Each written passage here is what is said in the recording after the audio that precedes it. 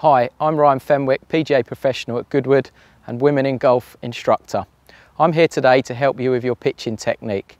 Lots of women come to me and say, Ryan, I'm struggling to get the ball up in the air when I pitch or I'm taking too much of a divot. There's one thing that you really should focus on with your pitching and also your chipping and it's your setup. In my opinion, this is 80% towards hitting a good shot.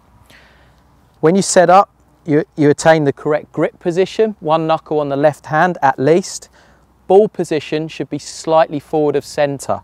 Make sure your weight is further towards your target than away from your target. When people sit back here on their right leg for right-handed golfers, they tend to flick at the ball. You don't want to do this. So ball just forward of centre, weight on the left leg, same back, same through in length, and you should get a pretty good strike with your pitching technique.